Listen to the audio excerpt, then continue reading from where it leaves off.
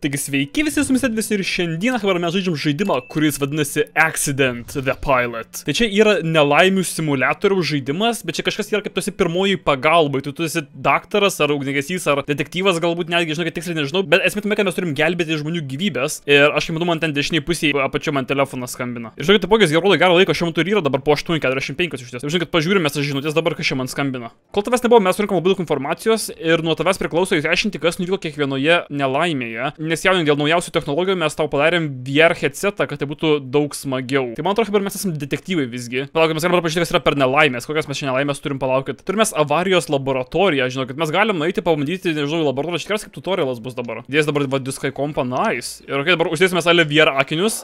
Wow, čia kaip įdomiai. Kai mes dabar važiuojam su mašino, pasirodo, ir, ir mes turėsime avariją, mes, mes pateksime avariją, ar kaip čia suprast? E, mes nepatekom į avariją, okei. Okay. Ir čia dabar nusileido kraniukas, ir ka, kas ekraniukė bus, man labai įdomu.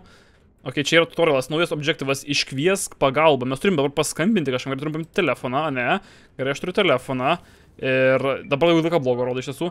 Ir mes skambinam 112 pasirodo. Ok, skambinam. Žiūrėkite, avarijo tai vietoj buvo. A, tai vėlgi, tai mes esame dabar tas žmogus, kas tiesiog važiavo šalia. Ir mes pamatėm avariją. Tai čia yra va, toks dalykas, būtent šią simulaciją ir yra, kad mes esam tiesiog praeivis, kas, kas matė. Ok, ir man palaukia, kad reikia įjungti hazard lights. Man reikia paspausti va tą mygtuką. Paspausti, mes dabar avarinį įjungiam. Mes turim išlipti iš mašinos, ok.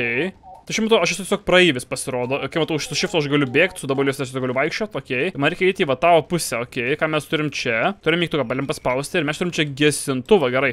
Paimam gesintuvą ir ką mes dabar turim padaryti, mes turim užgesinti. Ai, palaukos, va čia šitas dalykas dega, mes turim šitą dalyką užgesinti, okei. Okay. Užgesinam šitą, mes, mes mokomės hebra, kaip, kaip žaisti, kaip būti geru, nežinau, gelbėtojų tikriausiai, manau. Ir jis nelabai gestas, žinau, kad iš tiesų, bet man atrodo užgesinsiu, man atrodo užgesinsiu, taip, užgesinau pasirodo. Ir man dabar reikia pažymėti nelaimės vietą su trikampiu, gerai, turim paimti šitą trikampį ir mes turim pažymėti, kur vyko nelaimės, nevyko realiai štai ten, bet taip pat man ten veda į... Ai, va, čia reikia padėti, okei, okay, mes turim padėti va, čia, va, trikampį. Žinau, kad iš tiesų tai būna realybė, ta prasme, taip realiai reikia daryti. Ir ką mes dabar turim palaukti padaryti? Mes turim dabar išjungti variklį va šitoj va mašinoje, turime lipti į vidų, taip, čia žiūrėk visai fancy mašina iš tiesų. Ir mes turime išjungti variklį ir turn off, gerai, išjungiau variklį. Jis labai ir taip tyliai veikia pasirodo. Ir man reikia dabar patikrinti visas aukas, okei, okay, palauk, mes turime išlipti. Ai, aukos va štai va čia va guli, okei, okay, tu, tu gyvas robote, e, pažiūrim, ar tu gyvas, ką man reikia padaryti, palauk, jis turi žaizdų. Pirmiausia, man reikia pajudinti, ar serė, ar girdi mane, jis negirdi manęs. Bandom tikriausiai mes dabar paklausyti, ar jis kvepuoja. Jis kvepuoja, Hebra, aš girdžiu, kad jis kvepuoja. Turim apžiūrėti dabar žaizdas, kad jis turi dvi žaizdas, matau tai. Ir realiai aš tikriausiai dabar tai turiu pranešti 112 operatoriui, tikriausiai, kad jie yra sužeisti. O šitas kaip, e, serė, ar girdite mane? Jis kvepuoja? Dabar šitas nekvepuoja. Man atrodo, šitas miręs yra. Gerai, jeigu padariau klaidą, aš galiu grįžti atgal. Aš dabar galiu visgi gražinti laiką, pasirodo, kažkiek tai. Aš galiu gražinti laiką, pavyzdžiui, iki va čia va tikriausiai. Ir aš, aš, aš šiaip gražinu laiką, pasirodo, nežinau kodėl. Žmonės, kurie nekvepuoja, yra mūsų prioritetas. Tai mes Hebra turim šitą bandyti padėti, bet mums reikia pirmos pagalbos rinkinėlio, kuris yra štai čia, va, tokiai paimam pirmos pagalbos rinkinuką. Ir mes dabar einam padėsim jam, tikriausiai padarysim jam CPR, aš nežinau, kaip sakosi lietuviškai, žinokit. Ar mes čia su elektrošoku padarysim, net nežinau. Turim uždėti mes piršnes, ne? Uždėjom piršnes ir mes dabar turim paimti šitą CPR tikriausiai dalyką. Kaip mes dabar turim atidaryti ją burną, pasirodo. Turim paimti va šitą kaukę, uždėsim jam kaukę. Ir dabar mes turim... Uh, Plaukit šitaip. Viens, taip, Taip, perfekt, Hebra. Kol kas žinau, kad visi perfekt. Užtaikiau visus kol kas. 20 kartų Hebra suspaudėm. Aš šiaip nežinau, kiek iš tų reikia kartų taip daryti, net nei tikroviai, nei per žaidimą. Bet tikriausiai yra gana tikslus žaidimas, jei kažkas žinot, ar iš tiesų tiek daug kartų reikia. Duokit žinot, bet šiaip aš nežinau. Mano skoros yra 39 360. Aš nežinau, ar čia daug ar čia mažai. Ir ar jis kvepuoja, pažiūrime, ar jis kvepuoja. Aš kažką dabar darau, nežinau, ką aš darau, bet tai aukštyn. Žemyn, aukštyn, žemyn. Okay. Ir jis kvepuoja dabar. Hebra, jis nekvepuoja vis dar, žinokit. Dabar man reikia išsiaiškinti, dėl ko įvyko avarija. Ir mes turim išmetimą, paškai parūdyjusi, turim didelį akmenį, turim kažką čia realiai, bet nežinau, kas čia yra, čia antra dalis, okay. ir čia turim ratą. Dabar man reikia sudėti juos tinkamą eigą, kas įvyko, ne? Pirmiausia, žinokit, tas ratas net atitinka tos mašinos iš tiesų, bent jau turi ratą. Dabar, kad ta mašina ratą turi, ką čia nusišneka. Palaukit, pirmą įvyko šitas, tada įvyko išmetimas, tada įvyko ratas, tada įvyko akmuo, ar kaip čia? Pabandom, pabaigiam scenarijų ir Ir įvyko, taip, okei. Okay. Nu, vienas yra iš tiesų miręs, kas yra sed, bet vienas išgyveno iš tiesų, man atrodo. Ai, ne, irgi miręs. Tik kvepavo, girdėjau, kad kvepavo. Man atrodo tikrai nelaimė, tai yra spalio 3 diena, 2016 metai, 12.30 dienos, kai mes turim įsiaiškinti, kas ten įvyko. Važiuojame dabar keliu, pasirodo, tikriausiai mes vėl busim tiesiog praeivis kažkoks, tai tikriausiai mes busim. Ir vienas kas važiavo šalia ir užmatė, palauk, čia kol kas nematau jokios avarijos, okei, okay, viskas kol kas atrodo chill, viskas yra tvarkoje, mes važiuojam ant 60 gal mylių per valandą ir matom jau avariją. Čia ta pati mašina, kuri į fūrą įvažiavo. Gerai, mes turime išlipti iš mašinos. Aš noriu išlipti, palauk, man reikia užgesinti mašiną, man atrodo gerai. Įjungiam avarinį pirmiausia. Palauk, paimam telefoną ir e, paskambinam 112 tikriausiai. Skambinam 112, tai paskambinam. Palauk, aš turiu galbūt bagažiniai e, trikampį, ar aš neturiu bagažinį, turiu trikampį bagažiniai. Palauk, paimam trikampį hebra. E, trikampį mes turime nunešti realiai va tą vietą. Nunešiu trikampį. Realiai trikampis turi būti tokio atstumo padėtas iš tiesų. Tai padėsime dabar trikampį. Man tikriausiai, kad pirmiausia reikia išjungti degimą mašinos, kadangi jos gali užsidegti, ypač po avarijos. Tai atidarom, palaukit, mes dabar mašiną, ne? O, čia yra žmogus nukritęs. O, šitas jau kažkam tai rip. Palaukit, hebra, ugnis dega kažkur, tai man reikia, sako, užgesinti ugnį, bet aš nematau, kur ugnis, man gesintuvą. Kur ugnis vyksta, žinokit, nematau. O, čia į fūros galą įvažiavo. Oh my gosh, čia tai, žinokit, jau taip rimtai įvažiavo iš tiesų, čia taip neblogai įvažiavo. Turim užgesinti visą šitą dalyką. Tikriausiai, žinokit, čia esu aš kaltas, kad aš neišjungiau degimo mašinos ir įvyko dabar ugnis. Ir man gesintuvas hebra baigėsi. Gesintuvą turi, turi hebra gesintuvą, gerai, jie turi gesintuvą. Dar paims vieną gesintuvą, man reikia užgesinti ugnį. O kaip man atrodo, hebra užgesino lygiai ugnį. Hebra durelės yra užstrigusios. E, aš galiu išjungti už tą variklį iš va čia, vat. Reikia dar išjungti degimą va šitam čiveliu. Jisai su galva, man atrodo, stiklą pradaužė. Oh my gosh. Ir vadamas turiu dabar išjungti raktelį, va ten nusukti. Jisai, žinokit, nežinau ar gyvas. Gerai, išlipom ir dabar mes turim hebra dar fūrą išjungti. O čia nėra vairuotojo. Oh, žinau, kodėl nėra vairuotojo hebra. Tas vairuotojas ant žemės, kur nukritęs, jis ir yra fūros vairuotojas. Va čia, va šitas yra fūros vairuotojas. Oh my gosh, kai čia žiauru. Tu turi trikampį gale, man reikia tikriausiai jo, man reikia dar čia padėti trikampį, supratau. Gerai, mes dabar turime į hebra patikrinti visas aukas pasirodo. Mums tai būtent sako vienas, vienas, dabar operatorius arba operatorė. Ir mes turim pirmiausia, kad tikriausiai patikrinsim galbūt nuo šito, nes nemačiau vaikas yra gale. Tai žinau, kad aš patikrinsiu per pradžią šitą va. Gerai, yra užstrigusios durelės, užrakintos durelės šitos. Bandom šitą pusę. O, atsidarė vaikas, ar, ar vaikas gyvas. Pajudinam vaiką. Ar, ar girdi mane? Ar girdi? Vaikas. Vaikas. Dabar man atrodo, jis nekvepuoja. Oh my gosh, čia sed. Dabar man atrodo, kad čia yra miręs vaikas. Žiūrėkit, galim šį paimti mes pirmą pagalbą realiai, galbūt aš jam galiu kažką padėti, nes aš negaliu nieko padėti. Ir durelės yra užstrigusios, aš, aš negaliu daryti, žinokit, tų durelių kitų. Ai, galim per langą pažiūrėti. E, panelė, patliau ponė, ar jūs girdite mane? Gerai, žiūrėkit, turim atsekti jos diržą, okei, okay, ir dabar pajudinti ją atgal. Oh, wow, jinai vėl Žiūrėkit, opam. Hebra, aš galiu daužyti šitos moters galvą į vairą kažkodėl tai pasirodo, bet tarkim, padedam ją ramiai dabar ant sėdynės ir jinai turi žaizdą ant kaklo ir ar jinai kvepuoja.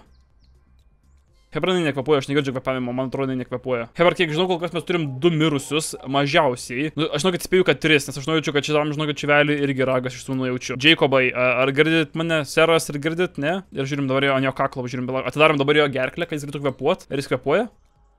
Jis kvepuoja! Hebra šitas kvepuoja!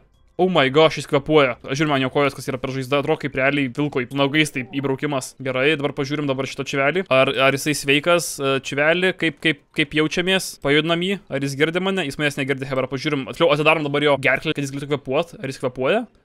Jis Hebra, man atrodo, nekvepuoja irgi. O okay, čia yra sed iš tiesų. Jo rankai matau sužeidimą, va. Hebra, man atrodo, tas vaikas miršta arba moteris miršta. Man reikia patikrinti, kur aš esu, bet aš nežinau, kaip man patikrinti, kur aš esu. Hebra, man atrodo, šitas vaikas tuoj numirs realiai, nes aš nežinau, kaip pažiūrėti, kur aš esu. Telefoną žinau, kad neatsidaro kažkodėl tai. Tai man aš savo mašiną galbūt kažką galiu padaryti, palaukit, nežinau. Gal galime GPS palaukit pajungti, jo, mes galim palaukit pajungti GPS lyg ir. Ir o, Hebra, man atrodo, išreikščiau, kur aš esu. Gerai, man dabar reikia eiti padėti aukoms, žinai, tas Hebra vaikas miršta labai greitai. Aš bėgu pas vaiką Hebra, aš noriu, kad tas vaikas išgyventų. Nedaug iki mirties Hebra yra. Oh my gosh, vaikas, vaikas, vaikas, vaikas.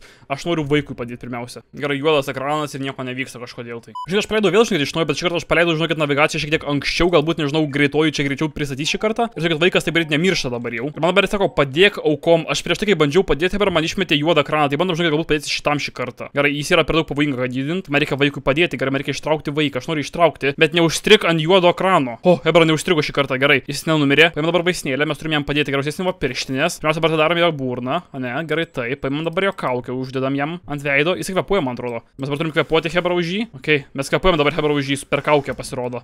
Jis kvepuoja. Nu, iš dalies kvepuoja. Hebra jis pakvepavo lyg ir, ar jis kvepuoja?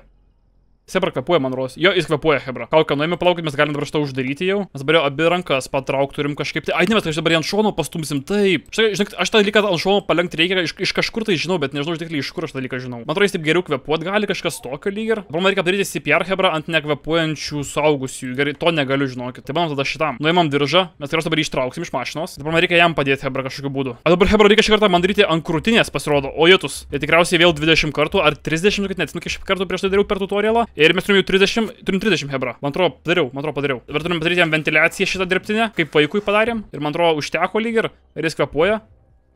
Hebrais nekvepuoja, man atrodo, aš negirdžiu jo kvepavimo. Ir viskas, atvažiuoja greitoji, bet žinau, kad čia yra SED, man atrodo, išgyveno tik tai vaikas. Ir dabar reikia man įsiaiškinti, kas padarė šitą avariją. Gerai, mes turime važiuoti, ką mes turim čia. Mes turim čia užuomeną. Okay. Susitrenkimas su artėjančia fūra. Aha. Jau medikai išsivežė žmonės, todėl mes turim dabar stabdymo okei. Okay. Ir akivaizdžiai šitą raudoną mašiną Hebra važiavo prieš eismą ir jinai stabdė, arba fūra prieš eismą, nežinau, nežinau, kur čia šalyje yra. Čia yra Europoje, tai reiškia, Hebra tą mašiną važiavo prieš eismą šitą raudoną ir jinai stabdė ir atsitrenkė į šitą dalyką. Ir tikriausiai stabdė fūrą ir po to šitą mašiną iš paskui važiavus irgi įsitrenkė. Kai jo turim dar stabdymo žymės išgavo, tu žinai, aš spėju, kad tiesiog fūra stabdė ir šitą mašiną nespėjo sustabdyti paprasčiausiai. Pažiūrėjom, Hebra, gal kažką mes čia viduje rasim, gal kokį nors alaus skardinę rasim pas fūrą ar kažką tai. Ir turim tiesiog išdužusi langą, mes čia turim kaip ir daugiau nieko viduje. Pėtsakai, Hebra, okei, okay. tai šitą mašiną bandė išvengti gyvūno, va kas čia buvo. Tai Hebra čia išbėjo gyvūnas į gatvę ir mašina nebandė nenutrenkti gyvūno, prieš priešinę juostą įvažiavo, va kas čia buvo. Ir turime dar čia rastą, kuris nesusijęs niekaip. Jokio laus kardinių nėra, vidutys nebuvo girtas, manau. Ai, palaukite, per man atrodo, jis buvo, žinokit, neprisisegęs, va kas buvo, okei. Okay. Dėl ko jis ir pro langą ir išskrido. Gerai, mes dabar realiai turim sudėti visas žymės, ne? Tai pirmiausia, fūros vairuotojas realiai buvo be diržo. Antras dalykas, išbėgo gyvūnas priešais kelią. Trečias dalykas, mašina, na, į prieš priešinę juostą išvažiavo. Ketvirtas dalykas, susidūrė fūra su mašina ir tuo pačiu išskrido per penktą na,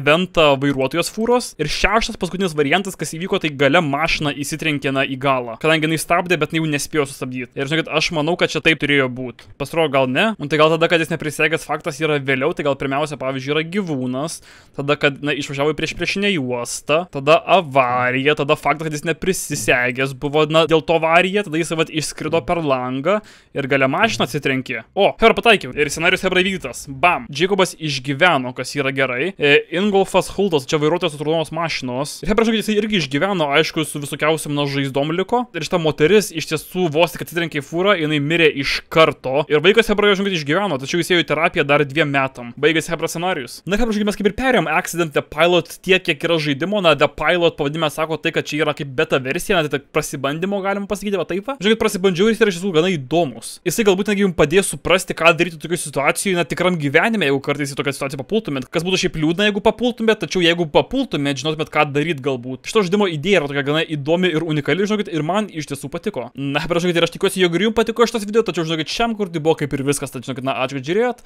Su jumis buvo visi ir viso gero.